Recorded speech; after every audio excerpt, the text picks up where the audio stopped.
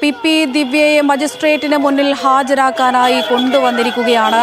നേരത്തെ നമ്മൾ കണ്ടതാണ് അറിയോടുകൂടി തന്നെ വൈദ്യ പരിശോധനയ്ക്കായി ജില്ലാ ആശുപത്രിയിൽ എത്തിച്ചിട്ടുണ്ടായിരുന്നു. അപ്പോഴും സംരക്ഷിച്ചു നിർത്തുന്ന ഒരു നിലപാട് തന്നെയാണ് നമുക്ക് കാണാൻ കഴിഞ്ഞത്. പിൻവാതിലിലൂടെ ആശുപത്രിയിലേക്ക് കയറ്റുന്ന ഒരു സ്ഥിതിയായിരുന്നു. ഇപ്പോൾ മജിസ്ട്രേറ്റിന്റെ വസതിക്ക് മുന്നിലും വലിയ പ്രതിഷേധമാണ് പ്രതിപക്ഷ പാർട്ടികളുടെ ഭാഗത്തു നിന്ന് കാണാൻ കഴിയുന്നത്.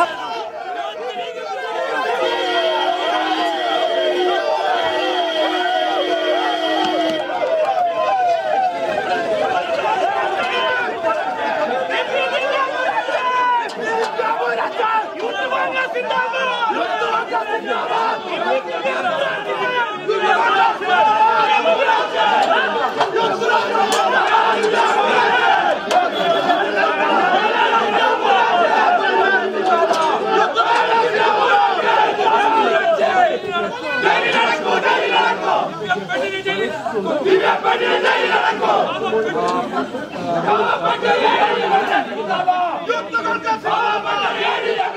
A D M Naveen ബാബുവിന്റെ മരണത്തിൽ അറസ്റ്റ് ചെയ്ത പി പി ദിവ്യയെ വൈദ്യപരിശോധനയ്ക്ക് ശേഷം തളിപ്പറമ്പിലെ മജിസ്ട്രേറ്റിന്റെ വസതിയിലേക്ക് എത്തിച്ചിരിക്കുകയാണ്. മജിസ്ട്രേറ്റിന് മുന്നിൽ ഹാജരാക്കാനായി എത്തിച്ചിരിക്കുന്നു.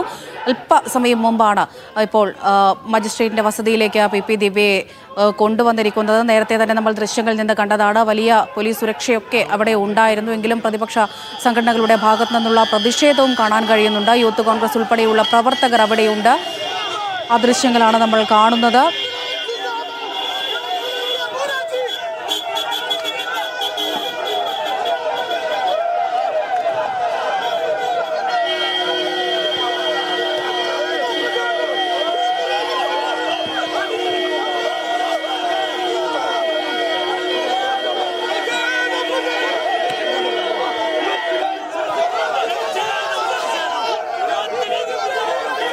മജിസ്ട്രേറ്റിന്റെ വസതിക്ക് മുന്നിൽ നിന്ന് സുനിൽ ഐസക് വിവരങ്ങൾ നൽകാനായി ചേരുന്നുണ്ട്. സുനിൽ മജിസ്ട്രേറ്റിന്റെ മുന്നിലേക്ക് ദിവ്യയെ എത്തിച്ചിരിക്കുകയാണ്. നേരത്തെ ദിവ്യയുടെ അഭിഭാഷകനൊക്കെ സംസാരിക്കുന്നുണ്ടായിരുന്നു. ഇനിയിപ്പോൾ റിമാൻഡിൽ വിടാനുള്ള സാധ്യതയാണോ കാണുന്നത്? വിവരങ്ങൾ.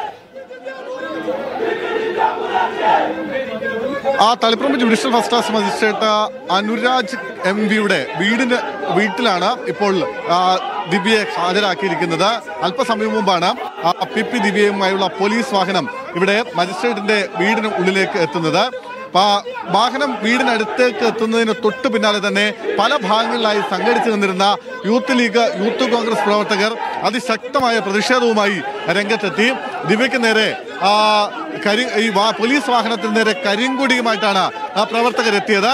ആ പ്രവർത്തകർ ഇപ്പോൾ മജിസ്ട്രേറ്റിന്റെ വീടിൽ വീടിന് മുമ്പിൽ സംഘടിച്ചു നിന്ന് പോലീസുമായി ഉന്തും തള്ളുമുണ്ടായി. ശേഷം അവർ ഈ റോഡിൽ കുത്തിയിരുന്ന് പ്രതിഷേധിക്കുകയായിരുന്നു. ആ പ്രവർത്തകരെ ഇപ്പോൾ പോലീസ് ബലം പ്രയോഗിച്ച് അറസ്റ്റ് ചെയ്ത് നീക്കുന്നതിന്റെ ദൃശ്യങ്ങളാണ് നമ്മൾ കണ്ടുകൊണ്ടിരിക്കുന്നത്. അതായത് ദിവ്യയെ കസ്റ്റഡിയിലെടുത്ത് പോലീസ് കൊണ്ടുവന്ന് വഴി വഴി മുഴുവൻ വഴി നീളെ അതിശക്തമായ ആ പ്രതിപക്ഷ യുവജന സംഘടനകളുടെ പ്രതിഷേധമാണ് നമ്മൾ കണ്ടത്. വലിയ പ്രതിഷേധങ്ങൾ ഉണ്ടായി ആദ്യം കണ്ണപുരത്ത് നിന്ന് ദിവ്യ കീഴടങ്ങിയ ദിവ്യയെ കസ്റ്റഡിയിലെടുത്ത് പോലീസ് കൊണ്ടുവരും വഴി ഡി സി സി ഓഫീസിന് മുമ്പിൽ വെച്ച് പ്രവർത്തകർ കരിങ്കൂടി കാണിച്ചു യൂത്ത് കോൺഗ്രസ് പ്രവർത്തകർ കരിങ്കൂടി കാണിച്ചു. തുടർന്ന് ദിവ്യയെ ആശുപത്രിയിൽ വൈദ്യപരിശോധനയ്ക്കായി പുറത്തേക്ക് എത്തിക്കുന്ന സമയത്തും വലിയ പ്രതിഷേധം അവിടെ യൂത്ത് കോൺഗ്രസിന്റെ യുവമോർച്ചയുടെയും ഭാഗത്ത് നിന്നുണ്ടായി. ഇപ്പോഴിതാ മജിസ്ട്രേറ്റിന്റെ മുന്നിൽ ഹാജരാക്കുന്ന സമയത്ത് പോലും വലിയ പ്രതിഷേധം ആ യൂത്ത് കോൺഗ്രസിന്റെയും യൂത്ത് ലീഗും സംയുക്തമായും പ്രതിഷേധിക്കുന്നു.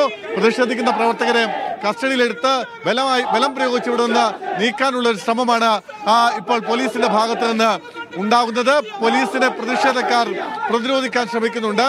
എന്തായാലും മജിസ്ട്രേറ്റിന്റെ വീടിന് മുന്നിൽ വലിയ വലിയ പ്രതിഷേധം വലിയ പ്രതിഷേധം തന്നെ ഉയർത്തുന്നു യു ഡി വൈ എഫിന്റെ പ്രവർത്തകർ.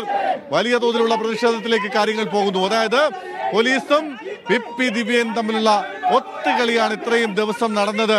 ഇപ്പോ ഈ കസ്റ്റഡി പോലും ഒത്തുകളിയുടെ അല്ലെങ്കിൽ അറസ്റ്റ് പോലും ഒത്തുകളിയുടെ ഭാഗമായിട്ടാണെന്നാണ് ഇവർ പ്രധാനമായും ആരോപിക്കുന്നത്. അതിന്റെ ഭാഗമായിട്ടാണ് ഇപ്പോ പോലീസിന് നേരെ വലിയ തോതിലുള്ള പ്രതിഷേധം ദിവ്യക്കെതിരെയുള്ള പ്രതിഷേധം ഒക്കെ വലിയ ശക്തമായി ഉണ്ടാവുന്നത്. ഇപ്പോ മജിസ്ട്രേറ്റിന്റെ വീടിന് മുന്നിലേക്ക് പോലും ആ പ്രതിഷേധം ഉയരുന്നു. അതിനിടെ പി പി ദിവ്യയെ അല്പസമയത്തിനുള്ളിൽ തന്നെ ആ കോടതി റിമാൻഡ് ചെയ്യും. ആ ആ അല്പസമയത്തിനുള്ളിൽ തന്നെ ദിവ്യയെ റിമാൻഡ് ചെയ്തേക്കുമെന്നുള്ള വിവരങ്ങൾ കൂടി നമുക്ക് ലഭിക്കുന്നുണ്ട്.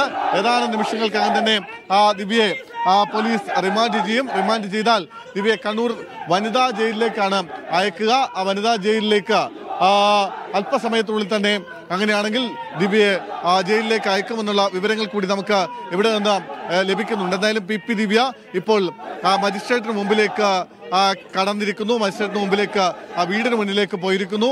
അവിടെ അദ്ദേഹത്തിന്റെ അഭിഭാഷകൻ അഡ്വക്കേറ്റ് കെ വിശ്വം ആ, അവർക്കൊപ്പമുണ്ട്. മറ്റാരെയും ആ, ഉള്ളിലേക്ക് കടത്തിവിടുന്നില്ല. ഇപ്പോൾ മജിസ്ട്രേറ്റിന്റെ വീടിന് മുറ്റത്തു നിന്നുള്ള മുമ്പിൽ നിന്നുള്ള ആ ദൃശ്യങ്ങളാണ് നമ്മളിപ്പോൾ കണ്ടുകൊണ്ടിരിക്കുന്നത്. അവിടെ മജിസ്ട്രേറ്റിന്റെ വീടിനുള്ളിലേക്ക് P P Divya കയറിപ്പോയിരിക്കുന്നു. Taliparamba judicial first class magistrate Anuraj M പിയുടെ വീടിന് മുന്നിലാണ് വീട്ടിനുള്ളിൽ വീട്ടിലാണ് ഇപ്പോൾ പി പി ദിവ്യയെ പോലീസ് ഹാജരാക്കിയിരിക്കുന്നത്. അഭിഭാഷകർക്കൊപ്പം അഭിഭാഷകർ മാത്രമാണ് ഇപ്പോൾ ദിവ്യ അഭിഭാഷകർ മാത്രമാണ് ഇപ്പോൾ ദിവ്യക്കൊപ്പം മജിസ്ട്രേറ്റിനുള്ളിൽ എന്റെ അടുത്തേക്ക് പോയിരിക്കുന്നത്. അല്പസമയത്തിനുള്ളിൽ തന്നെ ആ ദിവ്യയെ റിമാൻഡ് ചെയ്യുമെന്നാണ് നമ്മൾ അറിയുന്നത്. അങ്ങനെ റിമാൻഡ് ചെയ്യുന്നുണ്ടെങ്കിൽ ഉടൻ തന്നെ ദിവ്യയെ കണ്ണൂരിൽ സെൻട്രൽ ജയിലിനോട് ചേർന്ന് തന്നെയുള്ള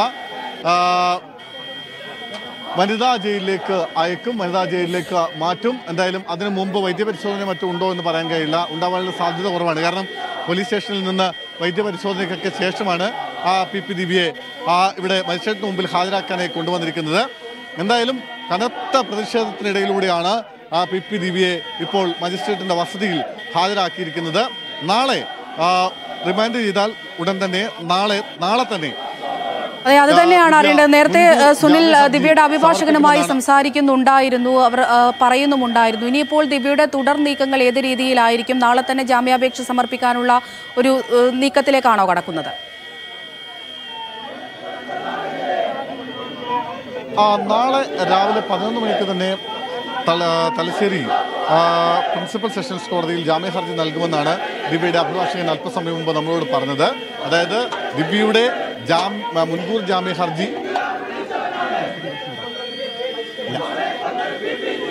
ദിവ്യയുടെ മുൻകൂർ ജാമ്യ ഹർജി തള്ളിയ അതേ കോടതിയിൽ തന്നെയാണ് ഇപ്പോൾ മുൻകൂർ ജാമ്യത്തിനായും നാളെ ഹർജി നൽകുക. എന്തായാലും ക്ഷമിക്കണം. ജാമ്യത്തിനായുള്ള ഹർജി നൽകുക. മുൻകൂർ ജാമ്യ ഹർജി ഇന്ന് തള്ളിയത് തലശ്ശേരി പ്രിൻസിപ്പൽ സെഷൻസ് കോടതിയാണ്. അതേ കോടതിയിൽ തന്നെ ഇന്ന് നാളെ ജാമ്യത്തിന് വേണ്ടി ഹർജി സമർപ്പിക്കും. തലശ്ശേരിയിൽ നിന്ന് തന്നെ ജാമ്യം ലഭിക്കുമെന്ന പ്രതീക്ഷയാണ് അഭിഭാഷകൻ പങ്കുവെക്കുന്നത്. അതല്ലെങ്കിൽ അടുത്ത ദിവസം തന്നെ ഹൈക്കോടതിയിലേക്ക് പോകുമെന്നും അഭിഭാഷകൻ പറയുന്നുണ്ട്. എന്തായാലും ഇപ്പോൾ ഇപ്പോ അറസ്റ്റ് രേഖപ്പെടുത്തിയിരിക്കുന്നു. അറസ്റ്റ് രേഖപ്പെടുത്തിയ പശ്ചാത്തലത്തിൽ ഇനിയുള്ളത് മറ്റ് നടപടിക്രമങ്ങളാണ് ജാമ്യം അടക്കമുള്ള നടപടിക്രമങ്ങളിലേക്കാണ് പോവേണ്ടത്. ആ നടപടിക്രമങ്ങൾ പൂർത്തിയാക്കുക എന്നതാണ് ഏറ്റവും പ്രധാനപ്പെട്ട കാര്യം. അതാണ് നടക്കുന്നത്. അതിനുശേഷം മാത്രമേ മറ്റ് കാര്യങ്ങളിലേക്ക് പോകുന്നുള്ളൂ. ജാമ്യം ലഭിക്കുക എന്നുള്ളതാണ് ഏറ്റവും പ്രധാനപ്പെട്ട കാര്യം. അതാണ് ഇനി പ്രധാനമായും മുമ്പിലുള്ളത് എന്നാണ്. സുനിൽ ഒരു സംശയം. ഇനിയിപ്പോൾ മജിസ്ട്രേറ്റിന് മുന്നിൽ ഹാജരാക്കിയാലും ഒരു വാദം നടക്കേണ്ടതുണ്ടല്ലോ. അങ്ങനെയെങ്കിൽ ഈ പ്രോസിക്യൂഷൻ കോടതിയിൽ സ്വീകരിച്ച നിലപാട് തന്നെ സ്വീകരിക്കാനുള്ള സാധ്യതയല്ലേ കാണുന്നത്?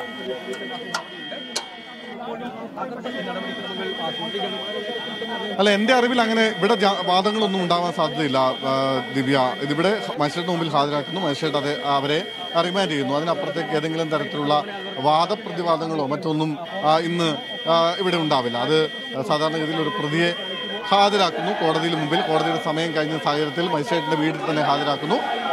സ്വാഭാവികമായിട്ട് പോലീസ് കസ്റ്റഡിയിൽ ആവശ്യപ്പെടുമോ എന്നത് മാത്രമാണ് ഇതിലൊരു പ്രധാനപ്പെട്ട കാര്യം. അങ്ങനെ പോലീസ് കസ്റ്റഡിയിൽ ആവശ്യപ്പെട്ടാൽ തന്നെ ഇന്ന് ഒരു കാരണവശാലും ഈ രാത്രിയിൽ ഒരു കാരണവശാലും പോലീസിന് കസ്റ്റഡിയിൽ വിട്ടു നൽകില്ല. പി ദീപിയെ കാരണം അവരെ വനിതാ ജയിലിലേക്ക് തന്നെ അയക്കും. അടുത്ത ദിവസം മറ്റോ ആ കസ്റ്റഡി അപേക്ഷ പരിഗണിക്കാമെന്നാണ് ആ പോലീസ് പറയുക. അല്ല ക്ഷമിക്കണം മജിസ്ട്രേറ്റ് പറയുക. അതിനപ്പുറത്തേക്ക് ഏതെങ്കിലും തരത്തിൽ ഇന്ന് എന്തായാലും പോലീസിന് കസ്റ്റഡിയിൽ വിട്ടു നൽകില്ല. നാളെ അത് വീണ്ടും പരിഗണിക്കുകയായിരിക്കും ചെയ്യുക. എന്തായാലും നാളെ തന്നെ ജാമ്യ ഹർജി കൂടി പരിഗണിക്കുന്നു നൽകുന്നു. അത് തൊട്ടടുത്ത ദിവസമായിരിക്കും പരിഗണിക്കുക. അത് പരിഗണിച്ചാൽ മാത്രമേ ജാമ്യത്തിലേക്ക് ജാമ്യ നടപടികളിലേക്കൊക്കെ അല്ലെങ്കിൽ ജാമ്യം കിട്ടുമോ എന്നതൊക്കെ പറയേണ്ടതുള്ളൂ പറയാൻ കഴിയൂ. എന്തായാലും അടുത്ത ദിവസം ഇതുമായി ബന്ധപ്പെട്ടുകൊണ്ടുള്ള വിശദമായ ജാമ്യ ഹർജിയിലുള്ള വാദം കോടതിയിൽ നടക്കും. അത് എപ്പോഴാണ് അതിന്റെ ഹർജി പരിഗണിക്കുക അതല്ലെങ്കിൽ എപ്പോഴാണ് അതിൽ വിധി വരിക എന്നതൊക്കെ വരും ദിവസങ്ങളിൽ മാത്രമേ നമുക്ക് പറയാൻ കഴിയൂ. നാളെ മാത്രമേ കോടതി അത് പരിഗണിക്കൂ. എന്തായാലും